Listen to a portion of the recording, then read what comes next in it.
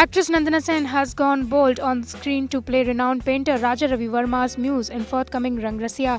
She admits doing nude scenes is a huge responsibility and she had talked it out with her parents before giving her nod.